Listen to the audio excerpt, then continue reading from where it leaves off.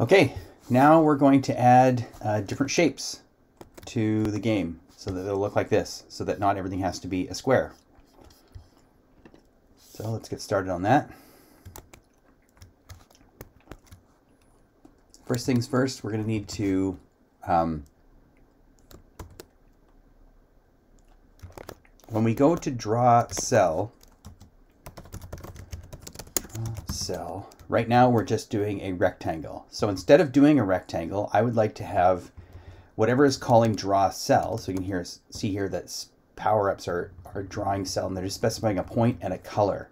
So instead, I'd like to say what shape they should draw, but instead of just saying the name of a shape, because we could just say, you know, like like circle as a string, um, and then we could have in draw cell, we could say, um, you know, like if, and then do here, say like shape name, and do like if shape name equals circle, and then draw circle, else if shape name. But I don't want to do that. What I would rather do, because it gets kind of clunky, is I'd rather just say here is the function that I want you to run to draw the, the shape for me. So let's say something like we have speed up, speed power up color. Let's have speed power up draw fun or shape fun.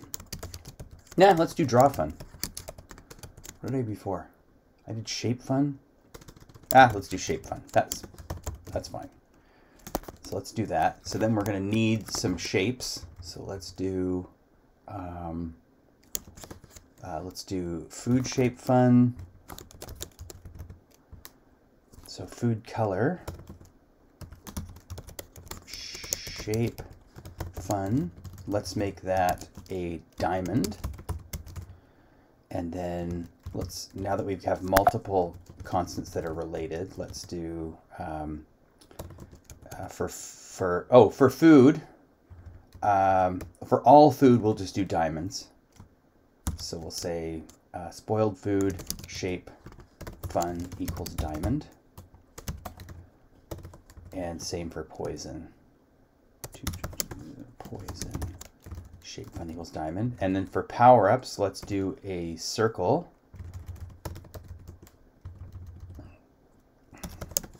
Speed power up shape fun equals circle, and these will all be functions. And we could call it circle fun, but we're saying that it's shape fun right there, so we don't need to do that. And then this, if this, this is the actual like name of the function. So if we said circle fun, then we'd have a function that says function circle fun, which would be redundant. So there we go, we got our food, and then we'll just leave our snake alone for now.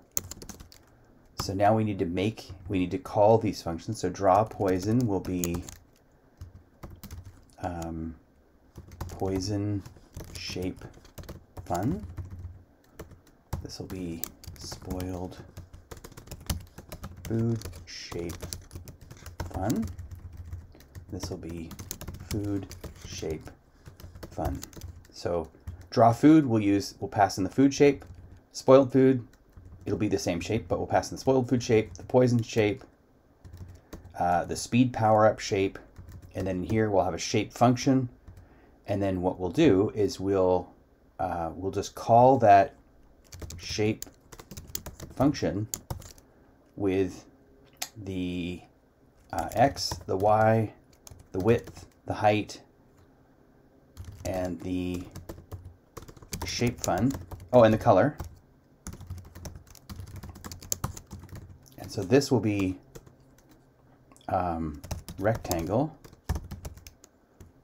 x, y, width, height, color,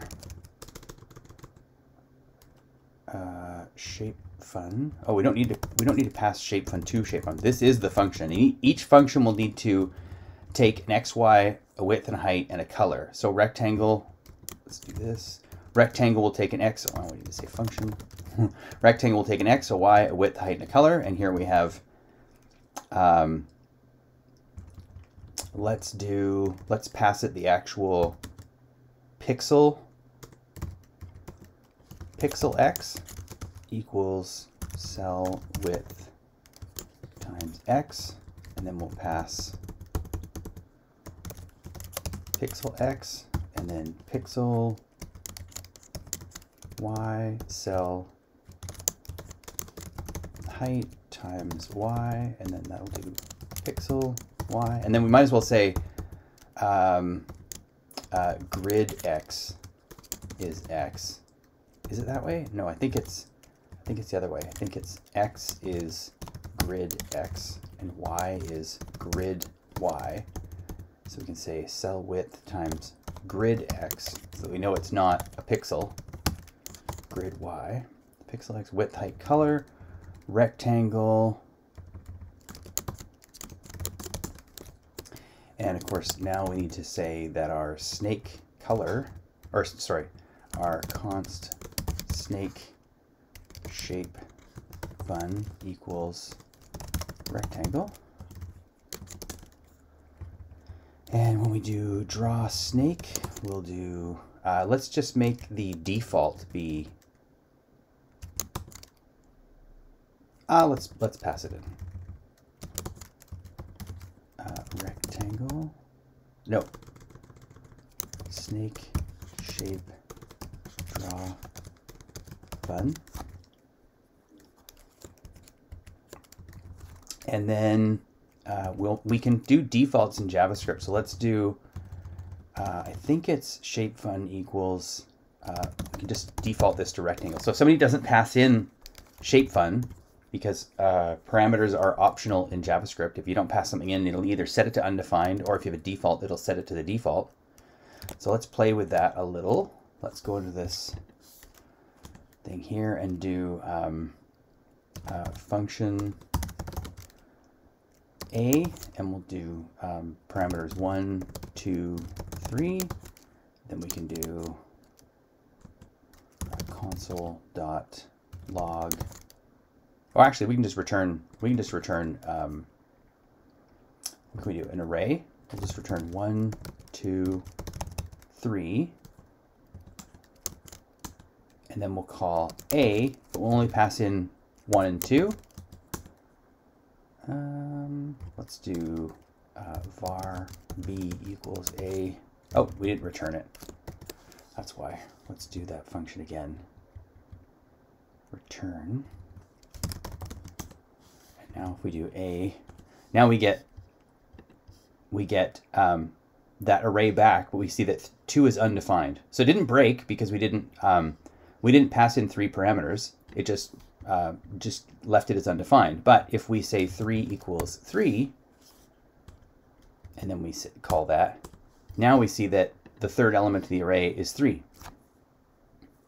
So we can set defaults. And let's see what happens if we just do, just pass one variable. Okay, so yeah, the third one uh, gets filled in with the default. The second one is just empty. What if we do, what if we do uh, just, what if we do none? Okay, yeah. Uh, we might even be able to specify like 2 equals, you know, A. No, so that, that even though we said it was 2, it actually put it in the first, it doesn't matter what we told it it was. And that's probably more like a variable, like it's probably setting the value to 2 rather than saying that the, the, uh, the parameter 2 is to be set to A. There might be a way to set parameters, I'm not sure in JavaScript. So anyways, back to the code. So here's a default so that if they don't pass in a shape fun, the shape will be um, a rectangle. And let's say if they don't pass in uh, a color, then it'll be white. And then we have these different shape funs that we have to do. So we did a rectangle. Uh, let's see. We need circle and diamond. So a diamond, let's do circle first. Function, it's actually, well, yeah, circle. We're going to get an X, a Y, a width, a height, and a color. And we're going to, um, let's see, I think, uh, I'll just grab it and then I'll explain it. Diamond, rectangle, circle, uh, 404 to 416 like that. Let's put this in here. So this is complicated. I'll walk us through it. So with a with in JavaScript, if we want to draw a circle, let's go to our documentation and do. Um, let's go to our 2D context.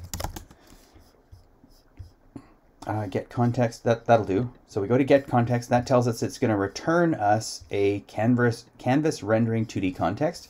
And that now that we're here to this object, it'll tell us what we can do with it. And the methods are like they're functions that you can call. The methods are like functions on an object we can do, uh, should be in here, ellipse, which is a circle, or it can be a circle.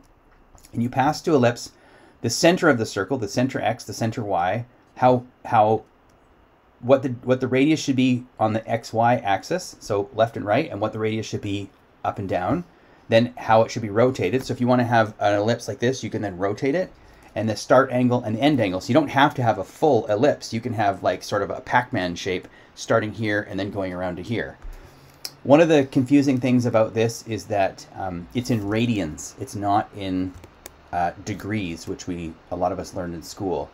So uh, there are there's the value pi, and that is uh, pi radians will get you halfway around the circle. Two pi radians will get you all the way around the circle. So two pi radians is equal to 360 degrees.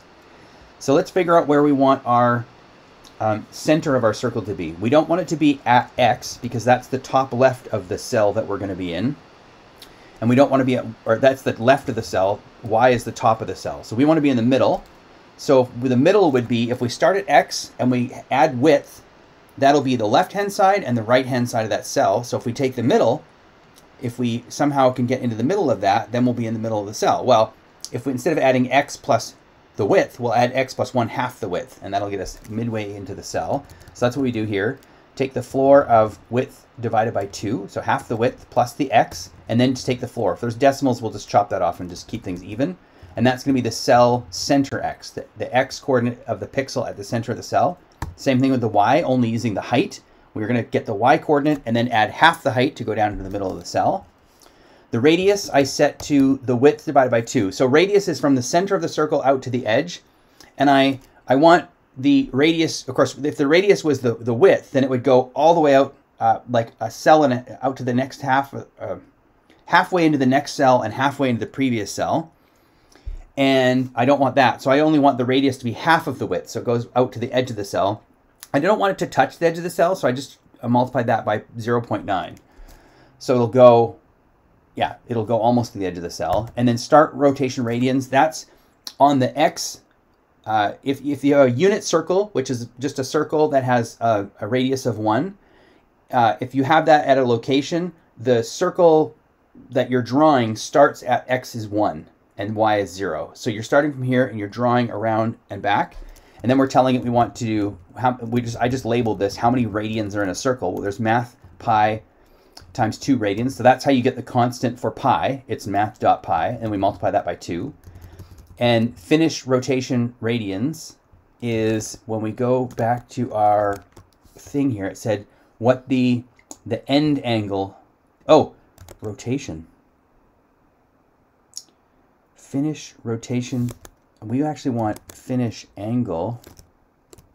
I don't know why I said finish rotation. Let's say that's not, shouldn't be start rotation radians. It should be start circle radians and finish circle radians. And let's change that. Let's let's organize this a little better. Let's put let's line these up. And I can just do uh, that's saying replace all comma space with comma new line. And then I can do this. I can do a block uh, insert, insert in front of all of them. So there we go. so we want to draw an ellipse.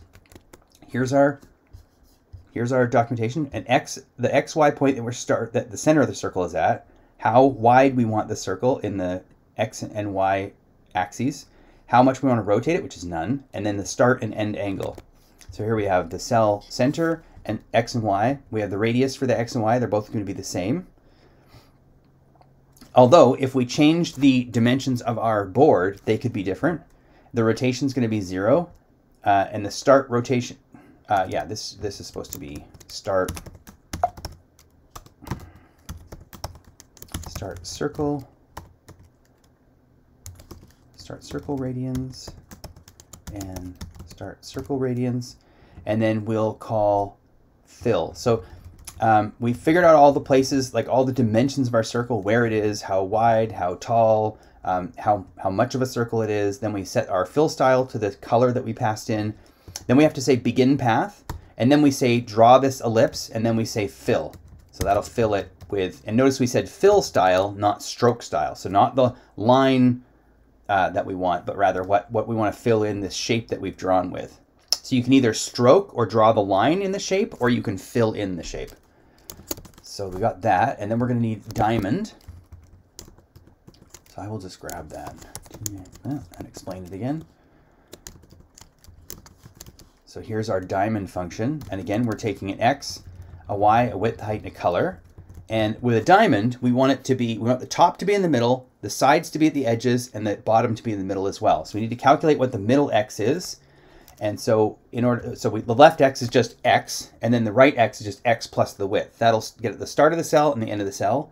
The starting y will just be y, the ending y is y plus the height. So that'll get us, if we were drawing a box, that would be fine.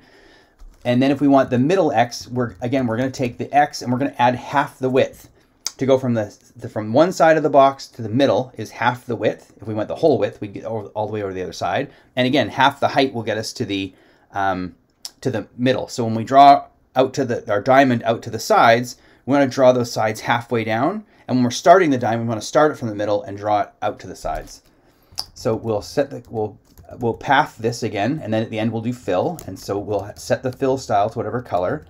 So we're going to move to X left. So the left-hand side and Y is at the middle. So in the middle of the cell, we're going to move over here. Then we're going to line to, let's see, we're going to line to, uh, that was X left, Y middle. Then we're going to go X middle and Y top.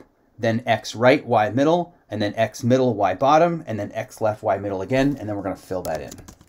And we're going to need to close off that function. So there we go. Now we have diamond functions for drawing, a circle function for drawing, and a rectangle function for drawing. So let's see if that works, or we'll see what errors we get. Uh, snake shape draw fun is not defined. Uh, yeah, because I didn't say draw fun. I said, oh, I don't want snake shape draw fun. I want snake snake shape fun. That's all we want. Let's go back here. Oh, uh, reference start circle radians is not defined. Start circle start. Oh, I did something wrong. Start start circle radians. Oh, that's not right. So what did we do? We drew it way too big. Why is our circle way too big? Let's see, when we we're saying the cell width times x, I'm pretty sure this is the, oh, oh, oh, oh. I was saying when I said draw cell, I was already calculating what the pixel width is. So I don't need to do it here. That'll already be the pixel width.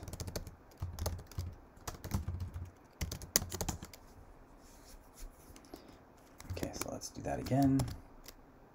No, circle's still goofy.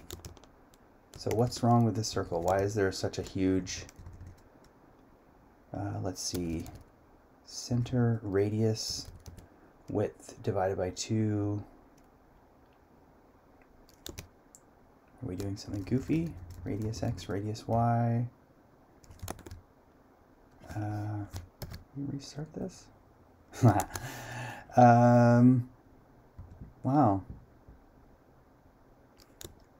It's two o'clock. Again, that's just my reminder, so when I'm working, I can be reminded of how much time is going by. So we do draw cell. I'm pretty sure each cell has a grid X and a grid Y. And we're multiplying that to get the pixels. And it seems to work for Oh, it seems to work. Why are um poison shape fun? Why are the poisons getting drawn?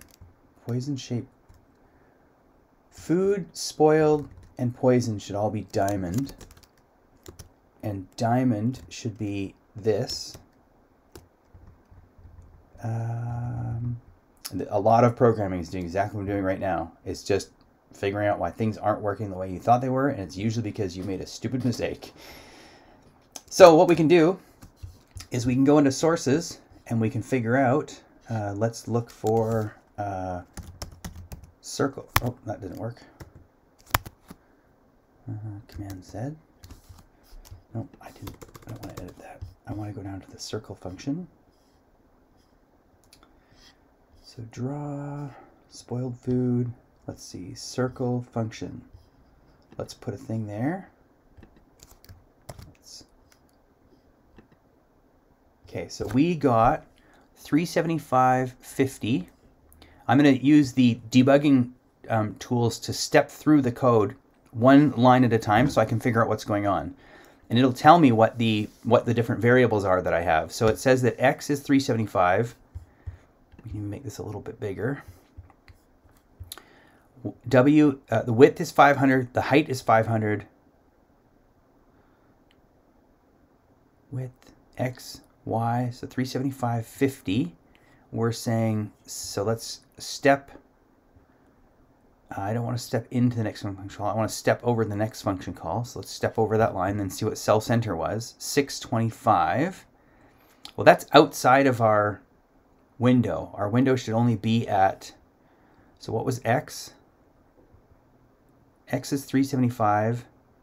Oh, oh, that's okay. So I don't want I don't want to add the width of the of the canvas, half the width of the canvas to the X. I only want to add half the width of the cell. So let's go back here and we want um, we want this to be uh, cell width, cell width and cell height. Now let's try that.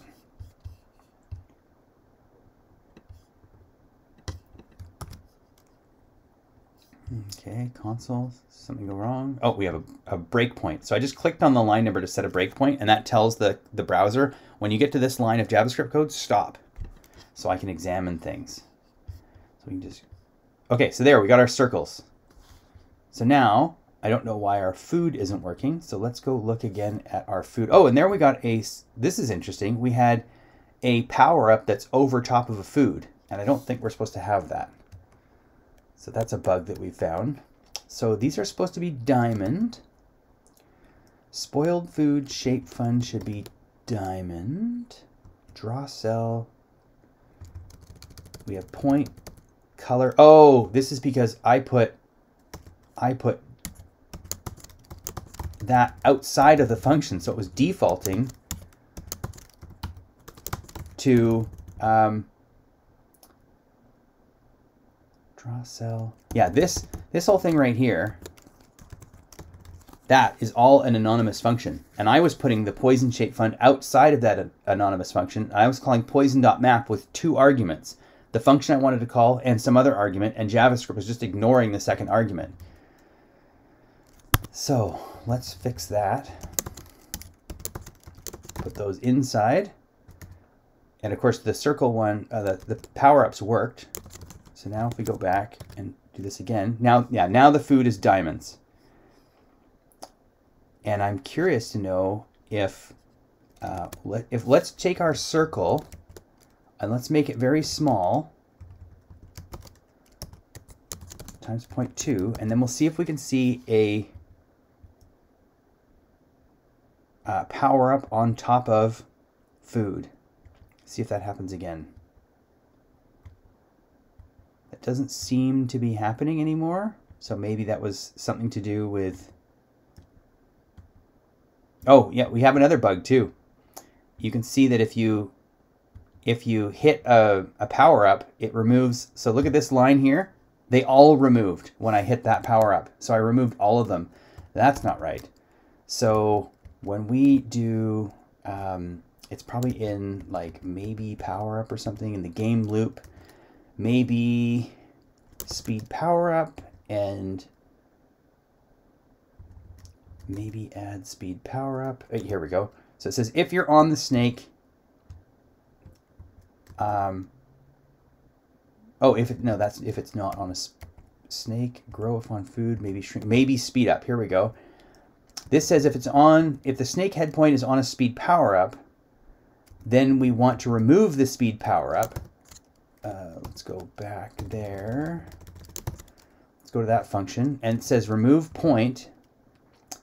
Uh, and, but then remove point is is wrong. There's an error. There's a bug in here. And it took me a little bit to figure it out. I'm saying I want all the points that aren't x, y. Well, this code is saying remove, remove, uh, it's, well, actually saying it's the, the filter function keeps everything that removes true. This says if x doesn't equal the remove x and y doesn't equal the remove, remove y. So I only want to keep things where the x isn't the same and the y isn't the same. So if, if anything's in the same y column, it'll get removed because the x and y are not both different. Only one of them was different. So I don't want that. I want I want to keep anything where either the either the x is different because then it's not the same point, or the y is different because then it's not the same point. So let's do that. Let's fix that. Now let's wait until we have um, a power. There, there's two power ups in the same. Oh crap! I I ran off the board.